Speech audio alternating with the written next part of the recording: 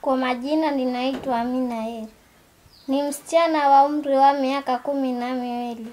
Niko katika darasa la sita mashariki. Ninasoma shule ya msingi ya Kibaukiche. Ninatoka katika kiwanja cha Ramisi. Katika jamii yetu tuko sita, wasichana watatu na wavulana watatu.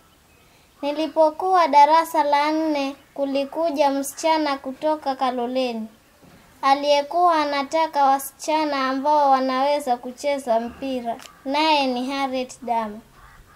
Lakini nilishangaa kuwa wasichana pia kucheza hucheza mpira.